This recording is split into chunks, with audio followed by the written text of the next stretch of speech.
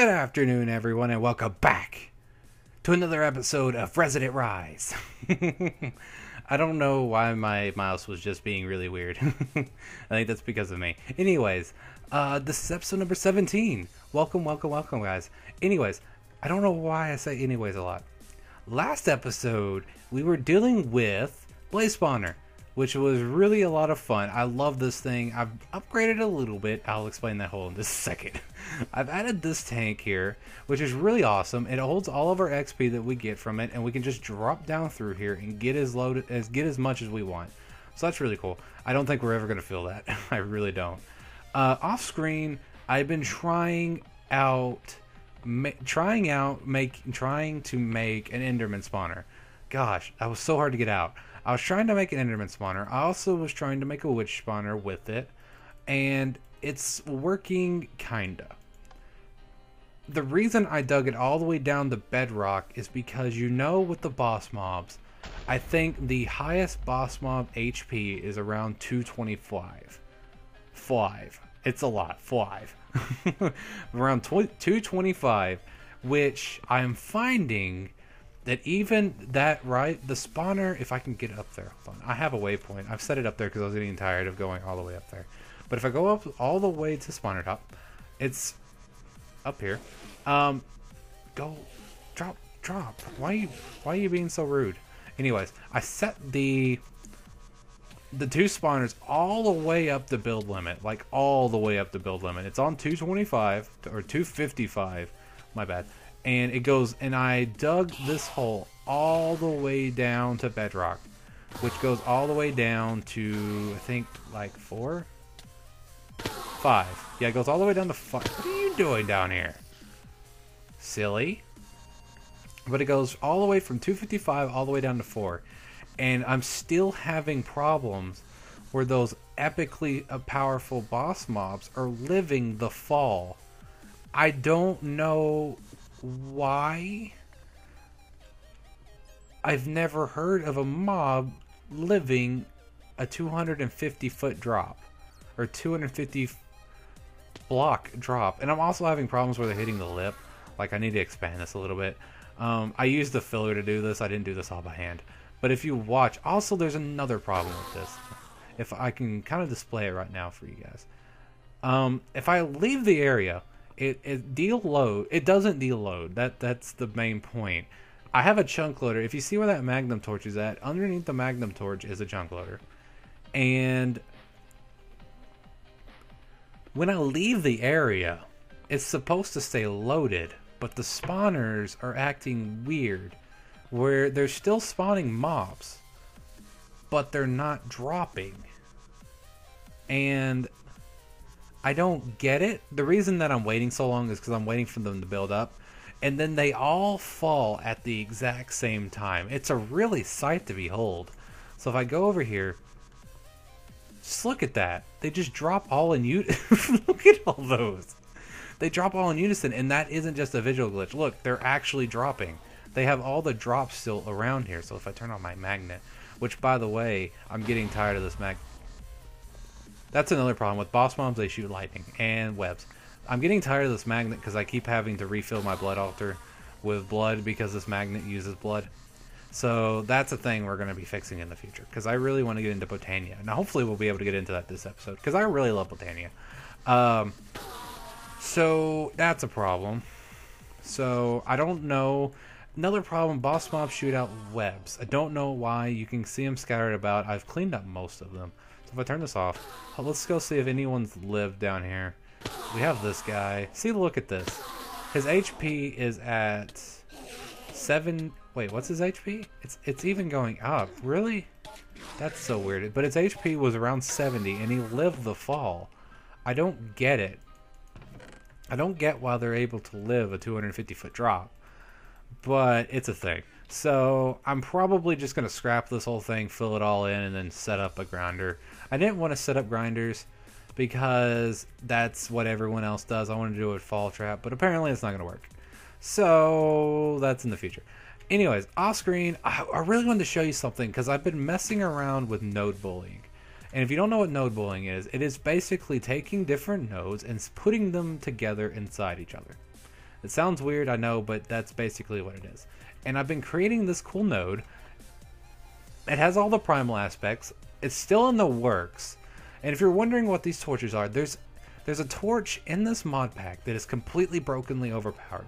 I love this torch. And it speeds up the tick rate. I don't know if it works for everything. Oh, I'm sorry. Something was caught in my throat. But I don't know if it works for everything, but it works for these nodes. And it's speeding up the tick rate. If I click on it, it'll speed it up in a 9 by 3 by 9 area. I attempted to go down into the chat, it kept moving. And it also goes up to 400% increase. And I'm pretty sure this stacks. Like, this is amazingly fast. So, yeah, that's the thing. Um, also, last thing I'm going to do in the update. Oh my god. Come on. Uh, I wanted to show you a node I found. When I was building this area, I found a hungry node. If you don't know what a hungry node is, it's basically a node that sucks. really, it really does. See, I'm being pulled towards the node without me touching the keyboard. And what's really cool about this node, it has all five aspects, so I really don't have to do much to it. I'm probably just going to start feeding it crafting tables like everyone else does.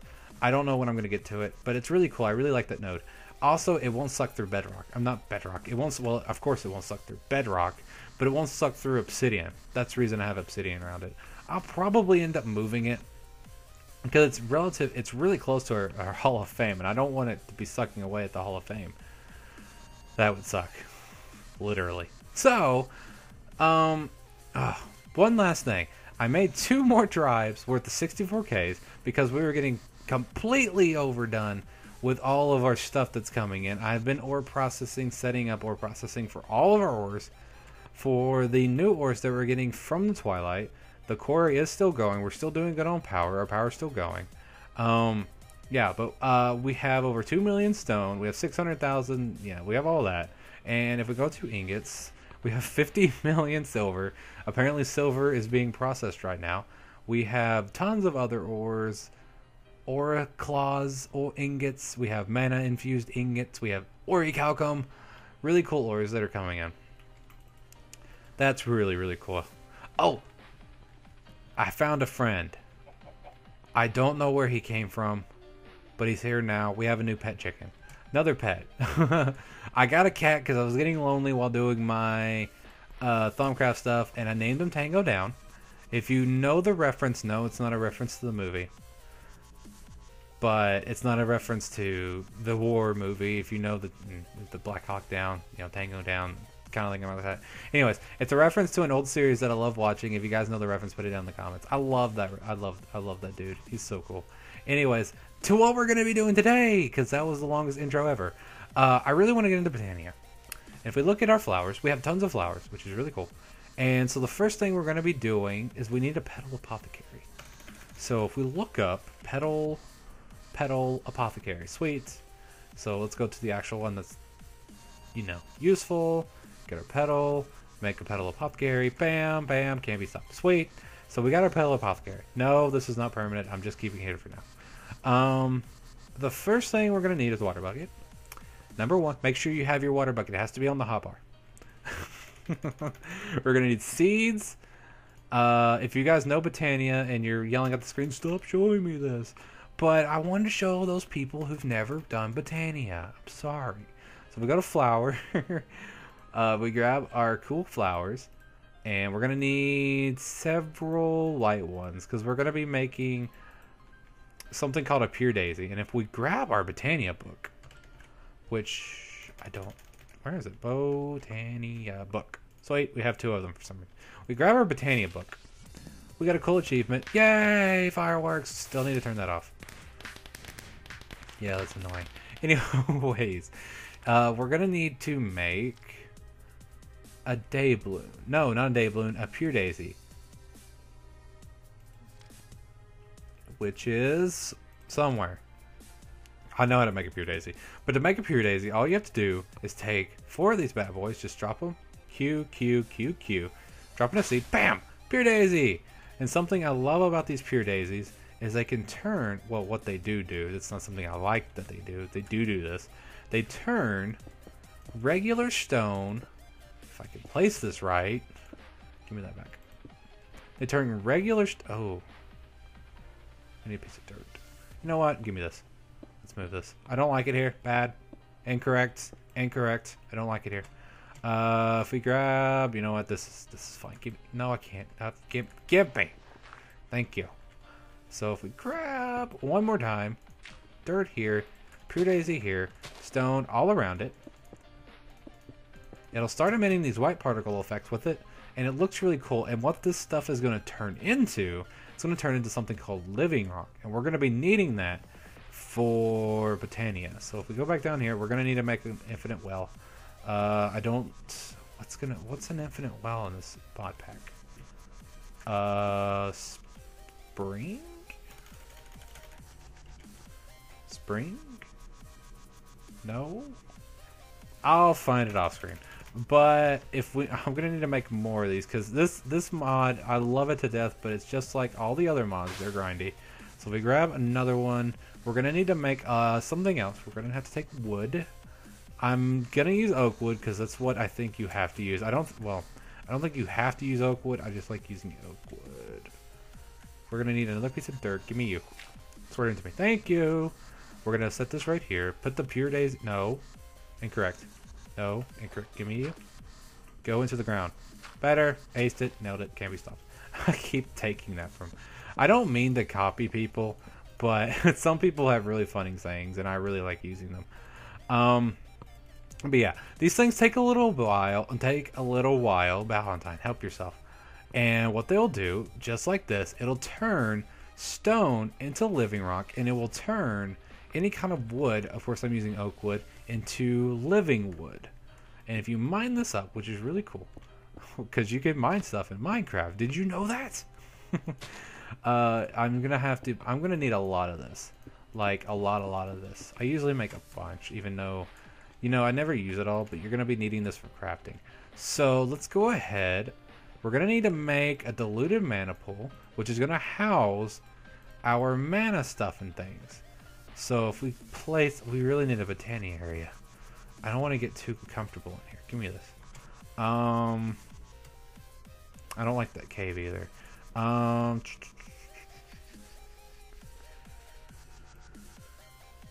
do I have a shovel? How do I not have a shovel? Where's my shovel?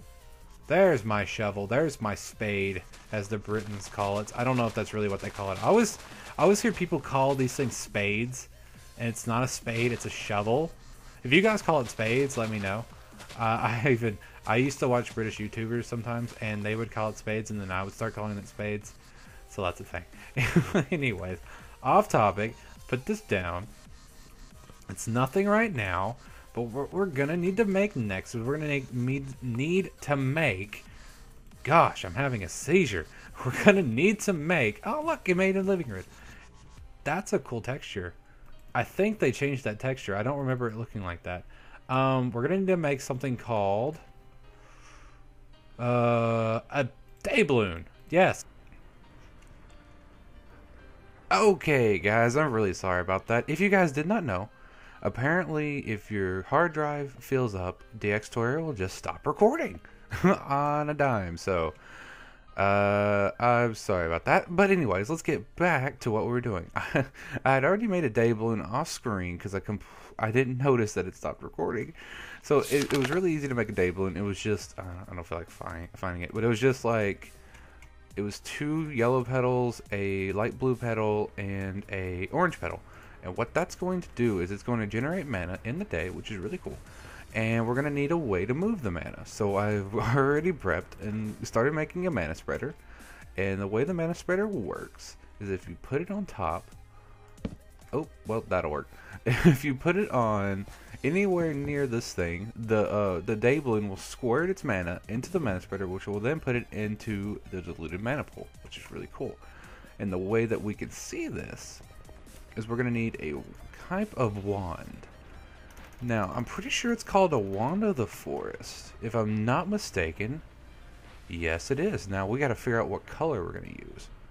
So to make, we're going to need these two things, which means we're going to need more living wood. And how much wood, living wood do I have? Do I have any in here? Living... No, I don't. Oh, do we have any over here? We do. I really need to make an axe because I don't have an axe.